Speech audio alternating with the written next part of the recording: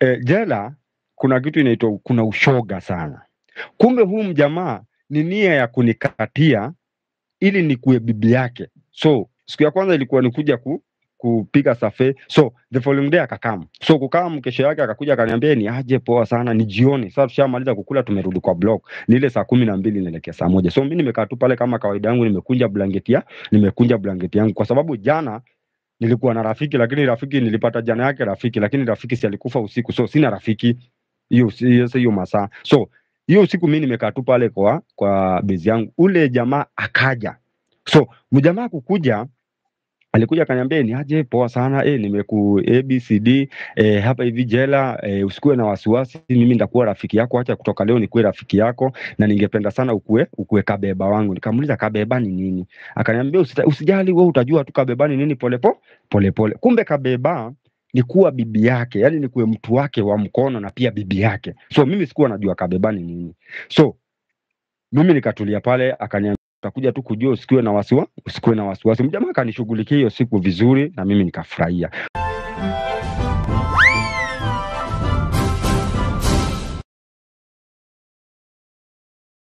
So kulikuwa na jamaa fulani alikuwa hapo kando, alikuwa kutoka Eldoret, ambaye nashukuru Mungu kwa sababu kila mahali ukienda e, ukipata rafiki furahia. So nilipata rafiki ambaye alikuja akanichanua akaniambia, hey, venye naona huyo jamaa aki- akikufuatilia fuatilia, wewe kuwa makini, hapa ni je, hapa ni jela. Mimi sikushikanisha sana nini anamaanisha. So hiyo siku tukamaliza na tukalala. So the following day jioni tukamaliza tu jioni, kufika jioni mjamaa akakuja. Sasa kukuja, alikuja na mururu. Kumbuka hii ni siku ya tatu. Sasa hii ni siku ya tatu.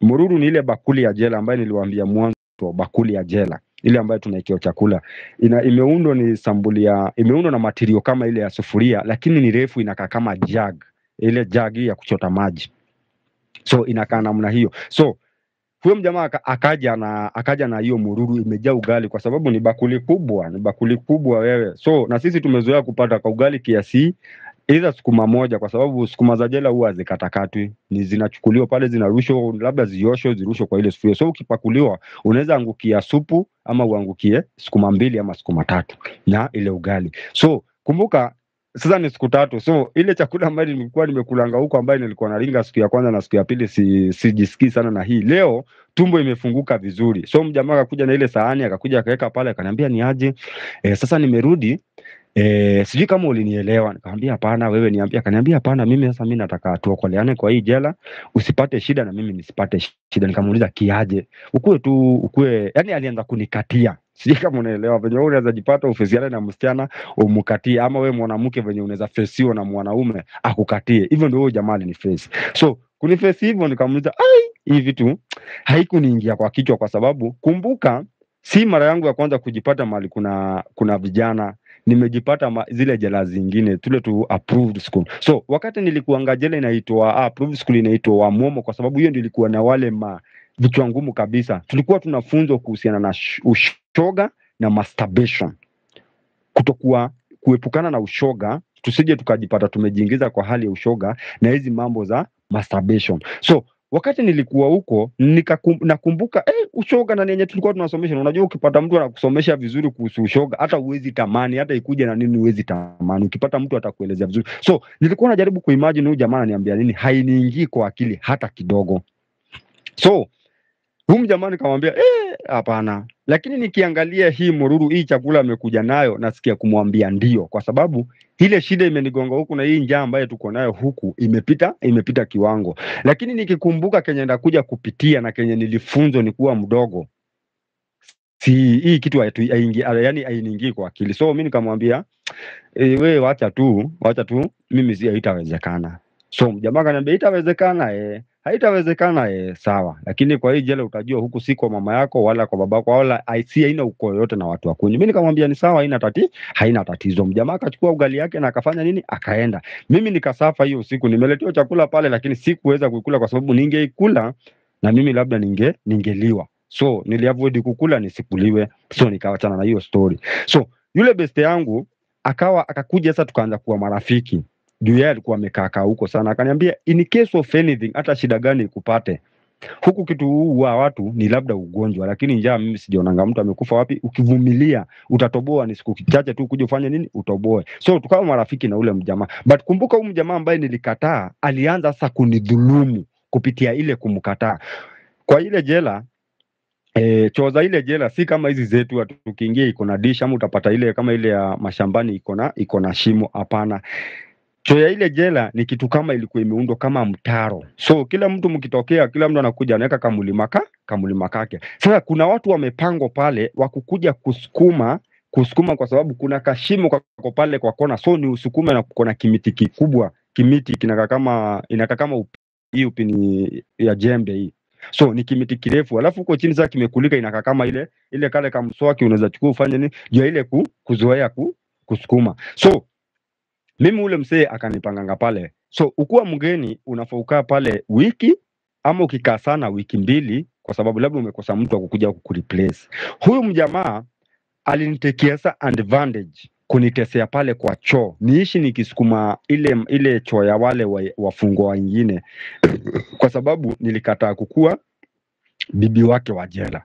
So huyu jamaa akanidhulumu na akanirusha pale, so mi tukaendelea ku, tukaendelea tu na hiyo maisha, tukasukuma maisha. Mi niko pale tu mi nasukumanga daily, sijai choka. Mi usukuma, nenda pale nasukuma nasukuma nasukuma, so tukafikanga Disemba. Kufika Disemba wakati wa Christmas Eh, na Mungu sana asaidie hizi organization ambayo huku hapa nje zinakumbukanga watu wengine kama hao, kwenda kuwatembelea, kwenda yani kuwafikishia, yani kuonesha pia hao ni watu. So kuko na organization fulani ilikuwa imekujanga, so hao walikuwa wameamua kuja kutu, kutu, kutupatia Christmas. Christmas ya jela si ni Christmas wenye utafikiria tu tutakula chapati tukule michele. Hapana, chakula ya jela ni ile ile, hakuna cha Christmas ama nini. Labda useme hiyo siku ya 25 ndio kutakuwa ni siku ya nyama, na nyama si ati ni nyama venye unafikiria, ni nyama ni piece kawaida kama ile ya kila Friday ama kila Monday venye inakujanga. So hiyo siku ni kutakuwa na nyama, lakini sasa kuna organization ambayo imekam wametununulia mikate na ma, na majuice, so si tukunywe. So kwa ile jela juu wamekuja na juice na ile juice ambayo walikuwa wamekuja nao, na sisi tuko wengi, so ulikuwa unapata lita tano ya juice ilikuwa inamwagiliwa kwa ile drum kale ka drum ka 200 liters kitu kama hiyo, juu ni hizi drum tu hizi hizi drum, so inamwagiliwa pale. So hii juice ile kitu ambayo iko nao ni rangi tu, si ati kuko na kitu ingine iko nayo. So hiyo siku sasa tukikula tukikula ile Christmas, so tulikuwa tunajipanga line, tunapangwa line unahesabio 1 2 3 watu watano mnapatiwa mkate mmoja, ili kila mtu mmoja. Hapo ndo nilijua kuhesabu, nilikuja kujulia kuhesabu mkate inakuwa na slice ngapi. Eh, kila mtu mmoja kwa watu watano, kila mtu ataenda na slice ngapi ngapi? Slice tatu tatu. So kwa hiyo line, wakati tulikuwa tumepanga ile line, mimi niko kwa line, more tunaendelea kusonga, so si watu wanaenda wakihesabiwa wakihesabiwa kuhesabiwa mimi kuja kuhesabiwa nilikuwa pili, mwenzangu akahesabiwa mimi. So si unajua watu wakihesabiwa unaenda ukiangalia na wewe, so kuangalia nyuma mahali ilienda kukatikia ni ule mjamaa ambaye ndio ananidhulumungi wapi huko kwa kwa kwa block. So mjamaa wangu yeye ndio alipatiwa mkate sasa. Kwa kupatiwa mkate akaambia wengine mkau mkauke. Kukauka yani alitu, aliwakataza. Mimi akaniambia wewe kama hii mkate ni yangu nawe hiyo yangu mimi na mimi nimebeba tu kajuice kangu na na ile na mururu mururu sisi tulikuwa na kwa hiyo mururu hatuna hatuna tambula hatuna kitu yote ambayo tutaweka. So ni kwa kale kamururu ndio tumewekewa nini? Imewekewa tumewekewa ile ile juice. So mi nikamfuata akaniambia, sasa unaona mambo si mbaya, so ile mambo yangu ukikubali, mi nakutoa kwa choo na unakuwa mtu mwingine tofauti, na utakuwa unakula poa, na hii mkate nitakuachia. Mi nikamwambia wefanya fanya hivi, wee nipatie tu sila zile zangu ambazo nafaa kukula, hiyo ingine wefanya fanya nini. So huu mjamaa venye nilimwambia hivyo alijam na hata akanirusha akaniambia ni sawa. Kumbuka Januari inaku Januari inakuja. Mi niko na huyu jamaa, yani tayari nimeanza kuwa kichwa ngumu. Kwa hiyo kwa hiyo mwezi mmoja na nusu ambaye nimekaa huko, so wakati nilikuwa pale, kulikuwa na wajamaa wengine walikuwa Wasamburu wa walikuwa wamefunga, walikuwa wamekujanga, walikuwa wako wamekaa sana, walikuwa wamekuja, walikuwa wamefunganga kuwa watatu. So Samburu na Masai sisi ni nyumba moja, so venye nilikuwa nimeona, so tukaanza kujuana. So venye huyu jamaa aliletanga hii hii michezo yake mbaya, mi nilitoka pale nikaenda kwa wale wa Samburu. So kwenda kwa wale wa Samburu nikawaelezea, wakaniambia ina shida, so kila mmoja akanipatia slice moja moja, wako watano. So mi nilikula hata slice tano ya mka ya mkate. So hiyo siku ikaisha na tukarudi, so tukasukuma, ikafika Januari. Kufika Januari, kwa ile jela kuna kuangana shamba shamba za ile jela, si tu dhania tu ni shamba shamba mingi. Hapana, kuko na shamba aina ngapi? Aina tatu. Hizi shamba majina yake peke yake itakufanya uogope. Shamba ya kwanza ilikuwa inaitwa milima na mabonde. Kwa nini iitwe milima na mabonde? Kwa sababu ni shamba kubwa sana, yani uone mwisho. Ukiona pale unaona ni kama kamlima kampanda hivi unateremka, gani, ilikuwa hivyo, ni kubwa. Shamba ya pili ilikuwa ilikuwa tunaitanga kiwanja ya ndege, yani ilikuwa flat, ni kama venye hii hii airport yetu iko. Shamba ya tatu ilikuwa inaitwa mtoro. Kwa sababu gani inaitwa mtoro? Kwa sababu ime ndio ime cross, yani ime yani ni kama imekava Kakamega forest hivi, yani ni shamba kubwa. Design tinga zikiingia pale, wewe jua hata ziingie tinga ine hazimalizi kwa siku, hata kama niku, nikupiga ni kupiga ile haro, si kulima, ni kupiga ile haro, hazikuwa zinamaliza. So ikafika time ya kwenda shamba, na kwenda shamba ni kwenda kulima, tupande mahindi. So mimi bado ni mgeni kwa ile jela, so tumeenda tumefika Jedwali ni kwenda shamba. So kwenda shamba si ati ni askari huu ile jela inakuangaa kurekebisha, yani hiyo ndio school, yani hiyo ndio moto ya jela zote, lakini kwa ile unasikia ni unarekebishwa na mwenzako, si askari anakurekebisha, mwenzako ndio anakurekebisha. So hata tukienda kwa hizo shamba, maaskari hao ukage dhugu huko kando kando ya mashamba, ama utapata kuna wawili ambaye tu wako huku ndani, lakini wenye wanawarakisha mulime ama mfanyakazi ni wafungwa wenzako. So kumbuka, huyu huyu jamaa alikuwa ananidhulumu, yeye amekaa kwa ile jela sana, na yeye tayari ni leader, so ako kwa ako kwa hii group ya ku ya kuharakisha hao wengine ama ya kufanya hao wengine wafanye nini, walime. Nakumbuka niko kwa hii group ya kufanya tulime, na yeye ako kwa ile group ya kufanya wengine walime. Sijui kama tunaelewana vizuri. So the guy kufika hiyo siku akakuja mpaka mahali niko, akaniambia si nilikwambia itafika, ulikuwa unaona kama itafika. So mjamaa alikuwa anatembea hivi, akirudi ananiwekelea Cyprus, kwa sababu kwa ile shule kulikuwa ile jela kulikuwa na miti za Cyprus. So hao wanini wafungwa wakifika ni na shamba, hao walikuwa wanaenda wanachuna zile Cyprus, alafu ukipata kija ama unawapata wanachukua zile salt walikuwa wanapatiwa na wale maaskari wafunga, anafunganisha Cyprus kama tatu akizifunga anazipiga na tape ya tape ya, ya black anaipiga roll. So ile tape akiipiga ile tape akiipiga akikupiga namna hii, kitu ya kwanza unasikia ni uchungu, kitu ya pili inakuchoma kujua ile salt tape. So unakuwa na uchungu mara ngapi? So utakuwa ni kama ni mtu uliguzwa na kitu moto hapa hivi, ile design unabaki kuwa mweusi.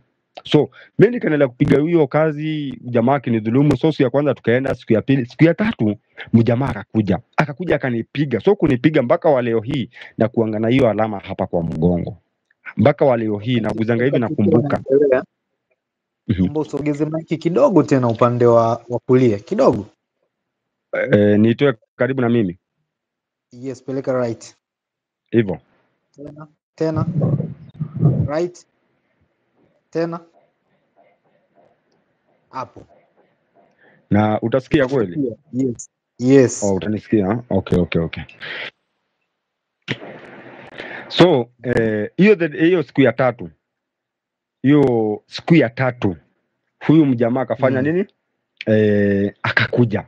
So venye alinipiga nikakatika wapi? Nikakatika hapa kwa mgongo mpaka damu ikaruka. So mi nilitoka hapo haraka sana, nikaenda kumstaki kwa askari mwenye alikuwa duty. So ule askari alikuwa hapo, alikuwa ni mtu ambaye alikuwa na, na madaraka ama tuseme alikuwa na cheo, kwa sababu alikuwa na vitatu vitatu, sijui ndio wanaitwa meja eh, ama ndio wanaitwa sergeant eh, ni sergeant nadhani. So nikaenda nikamwelezea venye nilimwelezea, badala ule achukue nini ya kunisaidia ama ya kufuatilia nini imeendelea, yeye alichukua tena nini ya kunipiga kwa sababu wale vierehere, kwa sababu huko tunawaita vierehere, ule wale leaders wakikuja, walikuja wakanichomea, huyu ni kichwa ngumu. So ule alichukulia hiyo uzito kulingana na venye huyu amese, amesema, so akanidhulumu kupitia kupitia venye ameambiwa. So yeye aliongezelea aliongezelea dhuluma kupitia kwa ule, yani kunidhulumu mimi. So sikujali, mi nikarudi kwa shamba na nikaendelea kufanya nini, nikaendelea kulima. Kumbuka tu tujembe twa jela, si jembe hizi, ni jembe abnormal. Wacha niseme ni abnormal kwa sababu ni jembe imezeeka. Uende ikawa utapata jembe kama inakuanga straight hivi, utapata ni kinusu,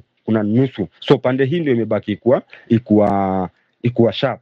Alafu kama ni mrefu sana, hii mkono yangu ni mrefu, so ukishika uiname eh, makali yoyote unaiwacha juu. So ule mjamaa anakujanga kuwa hata huwa struggle, kwa sababu tayari ushamwekea mahali atagonga. Sijui kama tunapatana. Makosa ingine utafanya ni ufanye ulime sana, uende mbele, utapigwa. Ukilima tena polepole, ubaki nyuma, unapigwa. Ukienda mbele, unataka kutoroka. Ukibaki nyuma, unataka kutoroka. So ni mnabalansiana, na kwa siku ujue huwezi maliza laini moja ya kulimia mahindi ama ya kuweka ya, ku, ya kufunika mahindi. Kwa sababu ni, ni moja imeenda nime, kulingana na venye nimekudescribia hizo hizo mashamba najua unaelewa venye nasema. So tukaendelea kusukuma siku zikasonga ushoga pale jela inaendelea sana. Mi nitasema ushoga inaendelea sana. Ilikuwa inaendelea kwa huo wakati sana. So design kila mara tukiingia kwa ile block usiku wakati tumelala ama ile wakati wa kulala. Utaona tu hizo movement zikiendelea ama ushoga ikiendelea. Na ningependa tu kwanza ni advice kuna hawa vijana wadogo ambaye labda ndio wamekuja ndio labda maisha labda ndio inaenda kuwafurahisha saa hii. Unapata saa hii kuna vijana wengi sana wanajihusisha na hizi mambo za ushoga sana. Ningetaka nikusaidie kitu kimoja ili tuele, tuele, tu, yani tuwe tunaendelea kwa ile kitu ambayo mimi nimeona na nimeexperience wakati unafanya mambo ya ushoga sana kuna kitu inakujanga inatokea kutoka kwa makalio yako. Inakaa kama tulikuwa tunaita mufifi wakati ulikuwa jela. Mufifi ni kitu kama mara ambayo iko kwa tumbo. So wakati ule mjamaa ana, anafanya mambo yake kwa sababu ile njia ime, imeumbwa na mwenyezi mungu ni ya kutoa si ya, ku, ya kupokea. So imeanza kupokea. So imeanza ku, ku, kufungua zile njia. So ile kitu tulikuwa tunaonanga wasee wanatoka. Mtu anatoka kitu kwa tumbo kitu inakaa kama mara ina, inamwagika hapo chini yani inamwagika sijui kama tunaelewana inamwagika. Na uogope sana watu wa jela kwa sababu walikuwa wanajua kuirudisha ndani kwa sababu walikuwa wanachukua kiberiti.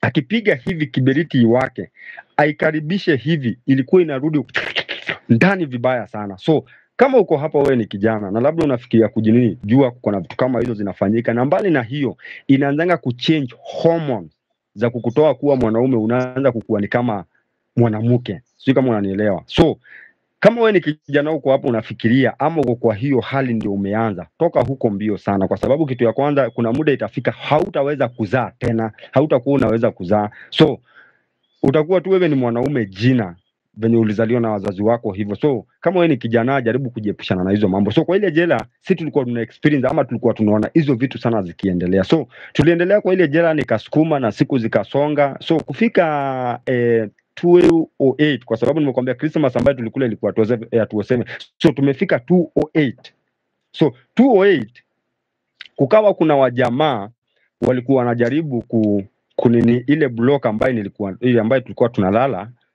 sijui kama ni kutoka walikuwa wanataka kuwepa siku moja usiku ama nini ili happen. So ikakuja ikajulikana. So kujulikana sisi ile tukatolewa kwa ile block ili iweze kufanya renovation. So tukasambazwa sambazwa kwa mablock zingine tofauti tofauti. So ile block ambayo mi nilipelekwa bado huyu adui yangu tukapelekwa na yeye kwa hiyo block. Kufika kwa ile block kumbuka sasa ni kutoka last year hiyo 207 eh, mwezi wa kumi na moja inapanguzanga choo.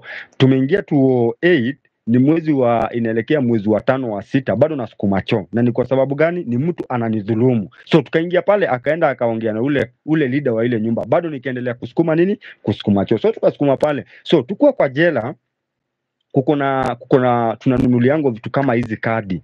Tunapatiwa ruhusa ya kucheza hizi kamare kamare kwa sababu hatuna dosi ya kucheza. So ile ya kutu ya kutufanya tukue busy na pia tusikue na mawazo. Tusikue na mawazo sana. So eh, eh, the guy ule jamaa eh, tukawa tunacheza. Najua mimi tuseme ukijaribu kuangalia mkono yangu mimi niko na kidole yangu ya gumba ni different sana na yako. Ni tofauti sana kidole yangu ya gumba. So mimi wakati ulikuwa nachezanga ile vitu inaitwa simbi nilikuwa nawezanga kucheza haramu kidisaini kupitia hii kidole yangu mrefu naweza ku, kuficha zile zile zile zile chaka. So tukicheza nikawa na skodi mingi sana ya vijana ambaye wanataka niwacheze. So the tunaicheza eh, so nikakuwa yani na group mob sana ya vijana. So venye tunaicheza ule jamaa ambaye aliishi akinidhulumu na hapa ninacheza vibaya sana nimekula watu vibaya akakuja akagrab kuna makaratasi fulani ambayo tulikuwa tunapatiwa jela za kuenda choo. Asi tulikuwa unapatiwa tishu tuende choo. Lakini sasa ni jukumu lako wewe mwenyewe ujitafutie kitu ya kwenda choo kwa sababu kuna kuangana siku ya inspection ya kukuja kutafuta mwenye ana kitu ya kuji ya kwenda kunini kwa choo. Wewe utashinda utaenda huko kusugua hiyo choo na hizo alama zimepigwa pigwa huko. Si unajua hizo choo hazikosangi hizo mambo. So so tulikuwa na plan ingine ya kupata vitabu hizi vitabu makaratasi hizi za vitabu kwa sababu tishu ulikuwa unafanyiwa one two unapatiwa hiyo ni karibu wiki mbili sasa niambie hiyo ni mara moja utaenda ama ni kuiweka utaenda mpaka utaiweka mpaka siku inspection so una unaitunza. So tulikuwa tunaweza kuzichezea hizo na tunazifanya kama pesa. Yaani ukiweza kucheza hizo unaweza ukakula mtu ama ukuwa na mingi unaweza ukanunua kwa mtu hata chakula. Kama wewe ni mtu wa kutumia tubako unaweza uka, uka, ukanunua. So the tulikuwa tunacheza ile game, ule mjamaa ambaye ni adui yangu aka aka, aka zile makaratasi zile makaratasi ambazo mi nilikuwa nachezea so kuzi, kuzi grab mimi nikasimama nikamwambia eh, fulani nilikuwa namwitanga Mteso, mbona unachukua hizi na ni za wengine? Fanya hivi, mimi chukua zangu, wewe rudishia wengine hizi zao. Huyo mjamaa alinipiga ile makofi ile ya kushikanisha ile, najua hii makofi so mpaka nikasikia masikio yangu, sababu alikuwa ni mjamaa ni mjamaa mzito. So venye alinipiga hivyo, mimi sijui ni nini ili happen sijui ni nini li happen. Ni kama ndio niliamua wacha ifike ni mwisho wangu mimi na huyu jamaa kunidhulumu, kwa sababu nilisikia kitu ingine imeniingia. Na venye alinipiga hiyo makofi mimi nilichukua nini ya kuanza kupigana. Naye so tulipigana tulipigana. Na unajua jela hiyo mkianza kupigana hakuna mtu akuja kuwatoanisha tuwachaneni. Hapana wacheni wanaume waheshimiane. So watu huenda kando mnaanza kushabikiwa kama wachezaji wa mpira. Hey, fulani hey, hivyo mnashabikiwa. Lakini huyu jamaa yeye anani- anafanya hivi ajioneshe. Lakini mimi ninaifanya kwa sababu ya hasira na hii dhuluma ambayo umeishi ukinipatia kwa hii jela. Sahii niko karibu kumaliza mwaka na unanidhulumu. So mimi niliamua kufight na yeye. Na unajua mtu unajua obvious ukiwahi chokoza wewe usitarajie kupigana. Labda upige mtu mwenye pia na yeye ame, ameshindwa kurespond. So huyu mjamaa kwa sababu yeye alikuwa na ile tu ako 100% anaweza nipiga. So yeye tu akuwa na ile ati ile kuchangamka sana. Najua mimi ni, ni kitu imeniingia. So mimi nilikuwa na mgonga anaanguka hata kama nilikuwa mdogo kumuliko. So tulipigana akili yangu na ile hasira ambayo nilikuwa nayo nilitoka hapo mbio nikaingia kwa choo. Ile miti aliishi akinidhulumu ile ya kusukuma ile choo nilienda nikakuja nikuwa nimeibeba so hawa hawa nini wengine kuniona walianza kupiga nduru. Mwenye ananikaribia na mgonga na ukumbuke iko na choo imejaa choo inakuja ikimwaga choo. So nilienda nikaanza kupiga ule mjamaza za huku za kichwa nini kwa sababu nilikuwa nimeshamweza so kelele venye lizidi, ilikuwa ni siku ya wikendi. Wale maskari ambayo walikuwa juti wakasikia. So venye walisikia wakakuja. So kukuja wakafungua. So nashukuru mungu kwa sababu the ofisa ambaye alikuwa sikio kwa duty ninasemanga mara mingi kila kazi kuko na wito wa kazi fulani. Na that's why utaenda kwa hospitali fulani kwenda kutibiwa utapata kuna daktari atakuchukulia vizuri na atakutibu na heshima na atakuruhusu ufanye nini? Uende nyumbani. Lakini utaenda kwa mwingine hatakuonesha madhara kwa sababu wito wake sio daktari ako pale kwa ajili ya kazi ameandikwa kazi. So naweza sema the ofisa ambaye nilipelekangia kesi ya mimi kukatwa hapa hapa hapa kwa mgongo hakuwa wito wake yeye alikuwa ni kazi. But the officer ambaye alikuja kutatua hii kesi ambaye siku hii ambaye tumepigana alikuwa wito wake ni kazi. Kwa sababu gani ndakwambia hivyo? Kwa sababu huyo askari venye alikuja akaingia pale hakutaka kujua ni huyu amefanya makosa ama ni huyu. Alituweka sisi wote chini akasikiza kesi ya mmoja kwa mmoja. So mwenye alianza obvious ni huyu jamaa ambaye ni leader ndio alianza kufanya nini? Ndio alianza ku, kuongea. So kuongea akaelezea "Eh, huyu anakuwa kichwa ngumu amefanya hivi na hivi amefanya hivi na hivi. So akaelezea shida zangu za za tabia yangu kwa hiyo siku na ni kwa sababu na ndio maana tukapigana. So akaambiwa okay umemaliza? "Eh, okay sasa tulia kando. Akarudi kwangu. Mimi kurudi kwangu nikamwambia mimi kesi yangu si ya leo kulingana venye amesema. Kesi yangu naianza tangu ile siku ambayo nilikanyanga kwa hii jela hiyo ndio kesi yangu mimi nitaianzia hapo na ndio vita yangu mimi na huyu imeanzia hapo. So nikajielezea na nikaelezea yote ambayo nimekuwa nikipitia nikamwonyesha alama ambayo nilikuwa nayo na yule askari hakufurahia hata kidogo. So venye alijua hivyo na akajua ni mambo ya ushoga alikasirika sana. So kukasirika alichukua ule mteso akachukua ile shati yake akairarua. Umenielewa vizuri? Akairarua ikakuwa akaira eh? Nakuelewa. e, akairarua. So kuirarua akamuita akamuuliza na juu kulikuwa na wafungwa wenzangu ambaye hawakuwa wamekaa huko sana na hawakufurahishwa na hii kesi. Hawakufurahishwa na hii kesi. So walienda yani walikuwa wananisaidia kunitetea. Wanasema si mzuri amezoea hata amemte so ule askari ile kitu ilimkasirisha. So akamuuliza kumbe kama ni hii kazi unafanyanga haya uko na mabibi wangapi kwa hii jela? So si unajua ishasemekana. So kila kitu ikalipuka tubibi twake tuote nani tubibi tu mwanaume tukaitwa. Walikuwa na mabibi waine. so akaulizwa sasa mpaka huyu ulikuwa unataka kuwe bibi wako watano so kutoka hiyo siku, kwa sababu yeye alikuwa kiongozi, ile ile mamlaka yake akashushwa kutoka kwa ile mamlaka, mamlaka, mamlaka yake, ile mamlaka yake ikapatiwa yule ambaye alikuwa mdogo wake, alafu hiyo mamlaka ya huyo mdogo wake nikapatiwa mimi ambapo nimepatiwa na nimepita kiwango ya hawa hawa nini wengine ambaye sikuwa nimekaa sana, lakini kajipata nimefanya leader kwa ile jela. So nikakaa pale kwa sababu ya huyu askari ni venye alifurahishwa na msimamo wangu, so akajua kama umeweza kusimama kama umeweza kusimama na ushoga, ni kumaanisha nikiweza kufanya hata wewe kiongozi kwa hiyo block, kwa hiyo block unaweza kosa ushoga.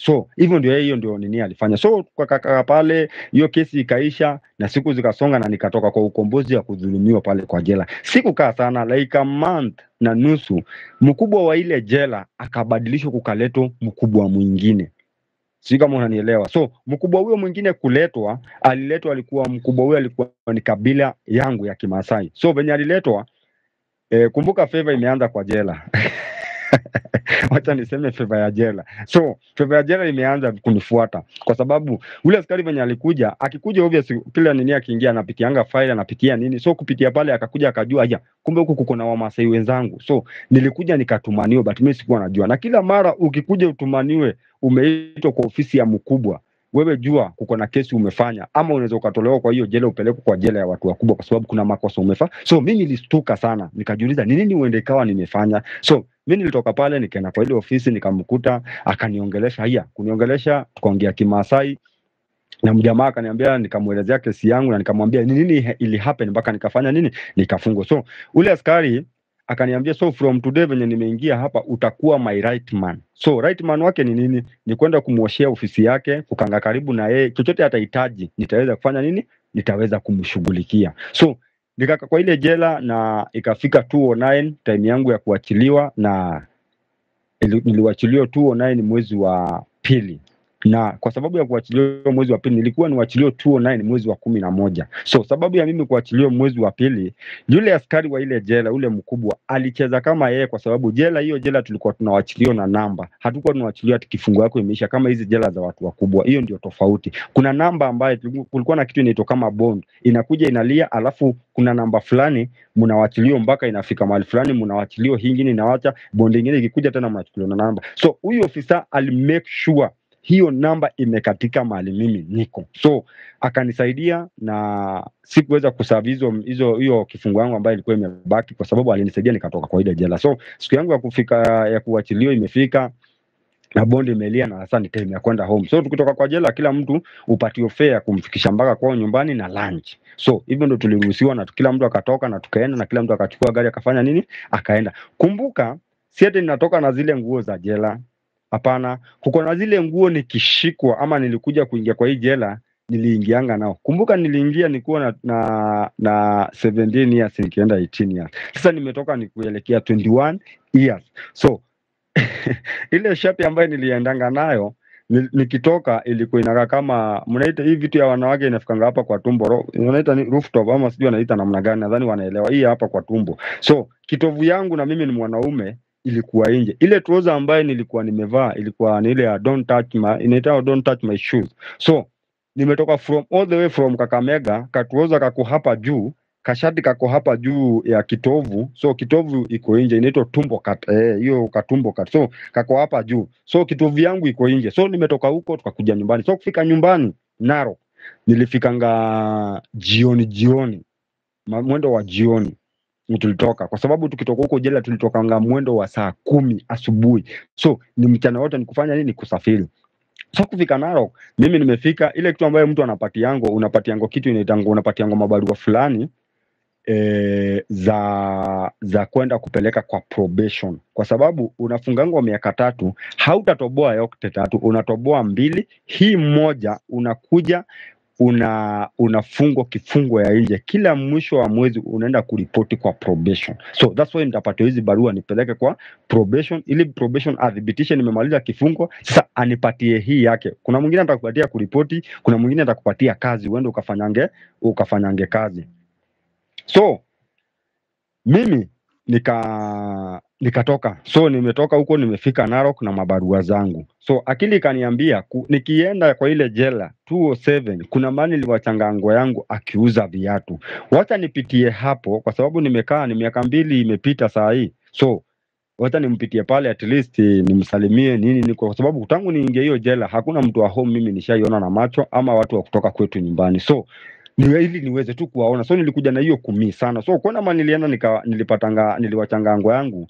Nikaenda nikakuta hapo mali alikuwako alihama na sahii ni wasee wa panja wako wapi? Wako pale na hata wamjui. So nikatoka pale venye niliwakosa nikatoka hapo. Nikashika barabara huyo nikaenda mali niliwachanga mama akiishi. So kufika mali mama alikuwa anaishi kufika pale nikapata mali alikuwa anaishi kulihamangwa na hiyo ploti ikabomolewa na kukajengwa kanisa na sina namba ya mtu yote ya simu. So kufika pale kwanza nikachoka nikaboe, yani najua unajua umeelewa venye nilifili so nika yani nikakaani kama nimechanganyikiwa. Akili ikaniambia najua venye umekuja hivi e, leo tu unaweza lala nje. Fanya hivi enda utafute mahali utakula kwa sababu unajua nimetoka jela so niende nitafute mahali nitakula. So nilitoka hapo nikaenda mpaka mahali nde nilikuwa najua mahali tulikuwa naenda kula huko kwa garage nika order chakula nikakula nikashiba namna gani. So nimeamua sasa nipande huko majengo nipige tu patrol. Naweza nikapatana na mtu yoyote ambaye labda anaweza nikumbuka ama anaweza mjua ama naweza patana na mtu wa home. So nikamaliza kushiba na nikarudi majengo. So nika, nikipiga piga raundi zangu.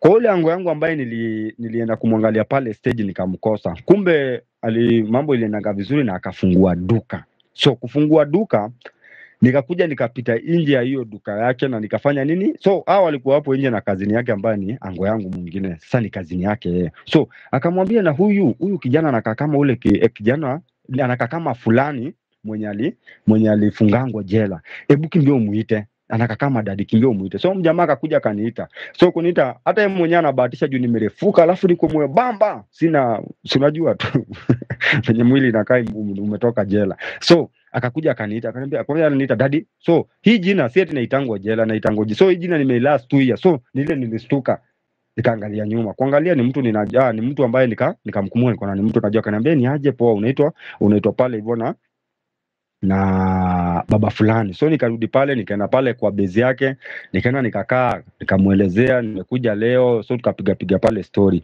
Akanitumania soda na kitu ya kufanya nini? Kumbuka nimetoka kukula so nilikuwa nimeshiba. So akanitumania soda. Lakini kumbuka soda nimeilast karibu miaka mbili ambayo imepita. So hata kama nimeshiba nitaikunywa. Sitakosa kuikunywa. So ile chupa niliichukua venye niliweka pale na juu nimezoea uji hata chai yenyewe sipatanangi na venye niliwekelea ile chupa ilitoka hivyo venye ile soda iliisha na ni ile soda kubwa.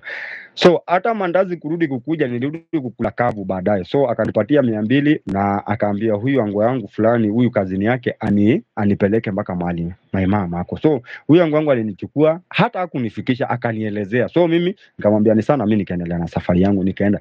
Kufika mahali alinielezea kwa ile nyumba alinielezea kwa ile ploti na ile namba ya nyumba nikapata ile nyumba iko na kifuli nikachoka zaidi. So nikatoka pale na nikaamua kuingia kwa street na hizi stori zingine hata nizisahau. So nile naenda kutembea nikapita mahali sister yangu alikuwa amekaa kwa sababu hawakuwa walikuwa wametoka na mama yangu. So nikurudi wanarudi yeye alikuwa mbele kidogo. So amekaa mahali kumuongojea so ile nimempita nikasikia ameshout. Fulani kwanza ameshout na uoga ameshout na akaangalia kando. Mimi na mimi nikamwangalia.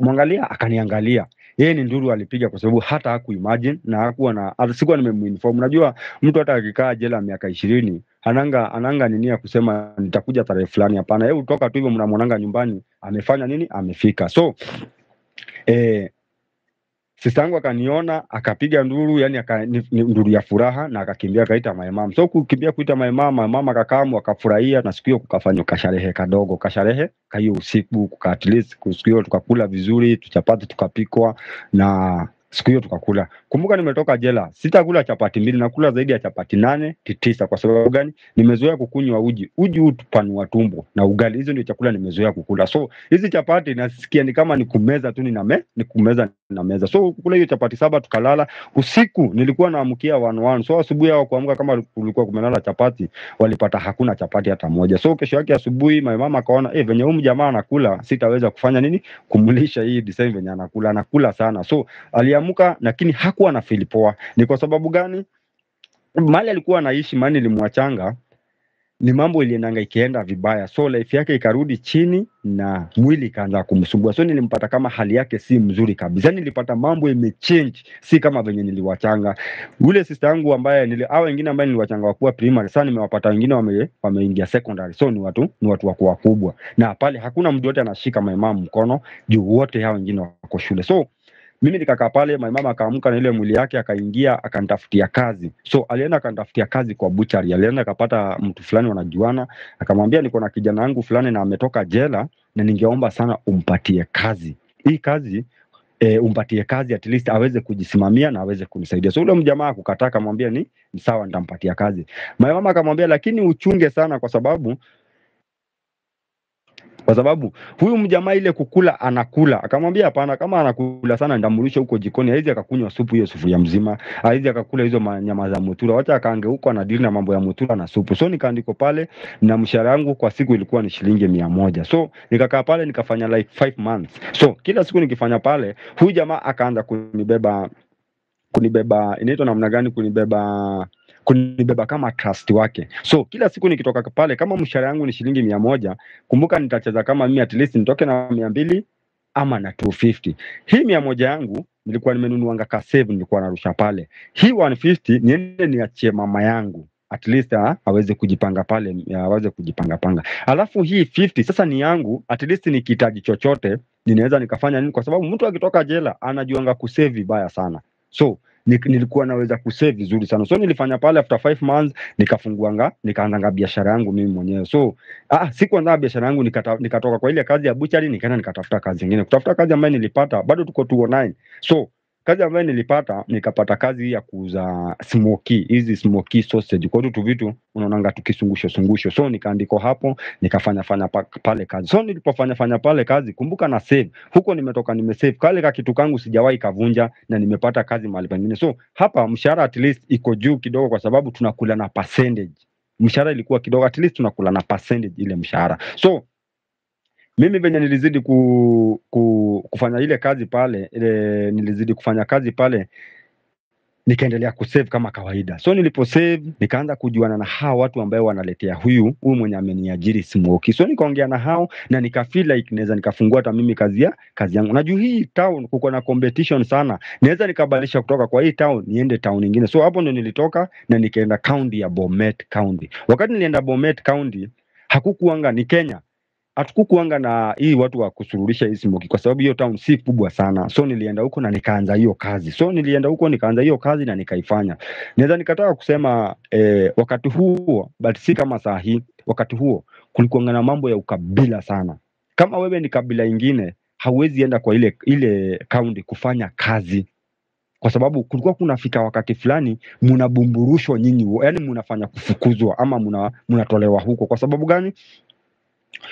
Na sababu ya mimi kusema hivyo ni kwa sababu kulikuwa na Wakikuyu, kulikuwa na kabila mingi mingi, lakini utapata Wakikuyu hakuna Mkikuyu hata mmoja alikuwa anaenda anakomboa nyumba anaishi, walikuwa wanaishingi kwa kwa lodging kama wakimbizi. In case kukiweza haribika, asichome vitu zake, atoke tu venye aliingia, nafanya nini, aende. So Eh, mimi nikakaa pale, mimi niliendanga huko nikajiambia, si mimi ni Masai wa Masai na hawa watu watunanga fujo. So nikakomboa nyumba na nikaanza juu ya ujana, nikaanza kuidembesha kila pesa napata pale, na nikaanza kupata pesa mzuri sana, kwa sababu nikaanza kuajiri mpaka vijana nika, nilikuwa nimeajiringi vijana watatu na mimi sasa wanne. Sasa sometimes unaweza pata mimi siendi kazi sa, so mimi nitaenda labda usiku ile kwenda kuweka kwa ile dish, kusunguka kwa vilabu kwenda kuuza ile moja moja, hapo ndio mimi nitafanya kazi yangu. So nilipofanya ile kazi, siku moja kuna jamaa alikuja akani akanichokoza, so kumbe ni time ya kufukuza watu ambaye si wa huko waende kwao. So huyo jamaa alikuja kunichokoza, na kumbe hii plan imeplaniwa na plus na hawa jamaa ambaye mimi mwenyewe nimefanya nini, nimeajiri. So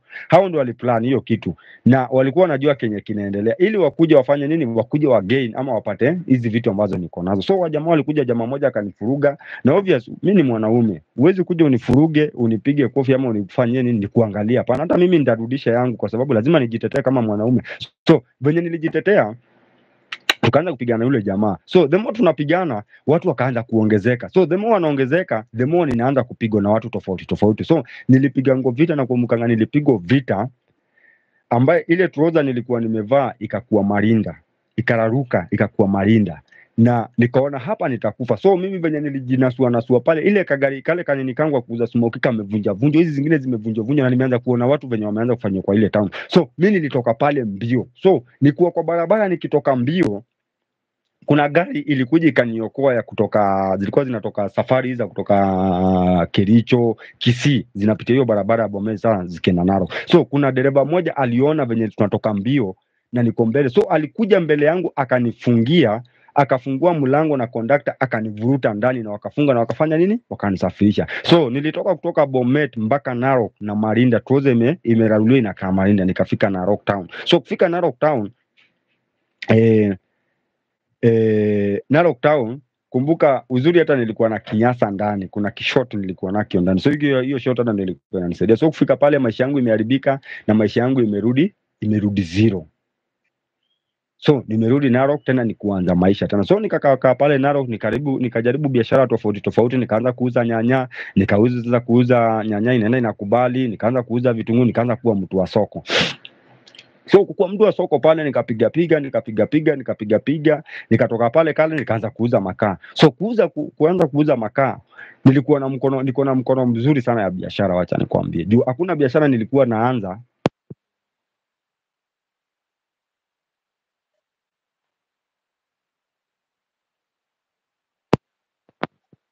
Tuendelee na kusikia vizuri. Oh, pole pole, eh, nini ya sound ilikuwa imezima, kumbe sikuwa nimeweka moto, Eh, ilikuwa imezima. Mnaotuma vizuri. Okay. Mnaotuma maoni yenu tunayaona. Kuna mtu anaitwa Kauthar, happy birthday. Edita Eugen pia tumekuona na wengine wote. Tutaendelea kuzisoma kadiri ya muda unavyozidi kwenda. Tuendelee. So eh, eh, kila biashara mimi ilikuwa inanikubali, so nilikuwa nafanya nikafanya hiyo ya nyanya nikafanya mingi, so nikakujanga nikafanyanga kazi ingine ya makaa, kuanza kuuza makaa. So nikafanya ile kazi ya makaa, nikafanya ile kazi ya makaa kutoka kusukuma ile kakitu ka kusukuma mpaka nikakuja nikakuwa nikaanza kuwa nikaanza kuuza yani nikaanza kuwa na mi mwenyewe. Kutoka ile kusukuma ile ku, kuandikwa kusukuma kale ka kitu mpaka kukuja kukua the owner wa uwanja. Nikaanza kuwa mi ndio ni kama ni mimi na distra- kila mtu mwenye atapata makaa kwa ile uwanja na atapata kwa ajili yangu. So na ni period of hata hii kumaliza mwaka. So nikawa pale nafanya kazi mzuri. So siku moja nikakuja nikapata oda fulani ilikuwa imetumangwa kutoka Nairobi to Narok. So nikauzanga makaa. Kwa pesa ya Kenya nikakujanga nikapata 100 eh, 124 25 hapo hivyo thousand kwa kazi moja ya hiyo lori. So venye nilipatanga hizo do, mimi ni kijana bado, tulikuwa ni tu 20, 2010 2010 2011 hapo hivyo 2011 ya 2011 so hiyo 2011 kumbuka hizo do eh, ni pesa ambazo so ni pesa ambazo eh, hiyo pesa yani venye nilikuja nikauza hiyo makaa nikapatanga hiyo pesa. So kumbuka mimi niko na ujana. So ujana wangu ikanionyesha niende niende niende nikakule raha. So mi nilienda pale naro kwa kilabu nikakanga kwa kilabu siku ngapi? Bila kutoka. Na si ka kilabu ati hii ya kuzo, ni hii kilabu kubwa iko na nini? Hivyo so nikukaa huko kukunywa. So nikakunywanga huko ile pesa ikafanya nini? Ikaisha. So sina pesa ya kurudi tena kuamsha stock. Sina pesa ya kuamsha stock. So nimeanza tena kuangaika ndio ujue ujana ni mbaya. So ukiwa kijana usipojipanga mapema chunga maisha sikupange so nikaanza kuangaika angaika pale town nikaanza kuangaika angaika pale town ninakosa ninapata ninakosa ninapata maisha ikaanza kunisukuma. Wacha nikurudishe nyuma kidogo. Kama uko hapo na labda kuna mtu ashai kukosea ukafili unaweza ukampeleka jela ukafili unaweza ukataka ukataka sijui ufanye nini aende huko atajua wacha aende huko ashike adabu. Wacha nikuambie kitu kimoja wacha leo nikuchanue kitu kimoja. Uki, ukishikwa kama umeshikwa umeenda jela ukuwa umefanya kitendo jua ni rahisi sana kutoka na utoke ukuwa umebadilika. Kwa sababu gani? Umeshikwa juu ya kufanya kitendo. So umeenda umepitia yale yote umepitia pale ndani ya jela umetoka. So umeshika masikio ukajua kama nilifanya kitendo fulani na nimepitia shida inakaa hivi na hivi kwa hii jela ni beta tu ni change. Na kuko na huyu mwingine sasa kama mimi ambaye nilishikwa bila kufanya kitendo yoyote nikienda kwa jela. So kwenda kwa jela nimetoka. Na hakuna kitendo nilifanya. Nimeenda kwa ile jela nimepitia yote ambaye nilipitia na nimetoka. So akili yangu inatokanga inaniambia kama nilifungwa na hakuna kitendo nilifanya na nimeumia hivyo yote bet hii maisha haini yuko fair beta nifanye sasa kitendo ili niende nini? Niende jela vizuri sasa. Sijui kama unanielewa. So hiyo ndio akili na, that's why ndio unapatanga. Kuna watu akitoka kwa jela utapata anabadilika na kuko na mtu akitoka kwa jela ndio anakuja anaharibika zaidi. Na ni kwa sababu gani niseme anaharibika? Hakunanga mtu anaenda jela arekebike. Kurekebika ni kwa hali yako. Wewe mwenyewe yale ambayo umepitia umeona hii imenitosha kwa sababu leo umenishika kwa ajili nimeiba kuku. Umenishika kwa ajili nimekataa shule. Umenishika kwa ajili nimeua. Nimeenda pale nimepatana na mtu ameua nimepatana na mtu. So uniambie ni kurekebika narekebika ama ni kuongeza ninaongeza ujuzi mimi ninajua ni kuongeza ninaongeza ujuzi. So nikitoka pale mimi ni mubaya sana hata kuliko venye ulinishika mara ya kwanza nikiwa. Kwa sababu ni kama ni college nimeenda sasa nimetoka. So venye nilitoka nikakaa pale Narok. So nataka nikurudishe nyuma ni kwa sababu gani nikajipata kwa crime. So wakati nilianza kuhangaika hangaika nikaona ai maisha iwezi maisha pia yuko fea so nikaanza tabia ambazo si mzuri. So kukakuangana hizi tabia za pale Narok Town za ku, za kuiba pikipiki. Unaiba pikipiki sijui mnaenda mnauza so nikaanza kujihusisha na hizo shughuli za kuiba pikipiki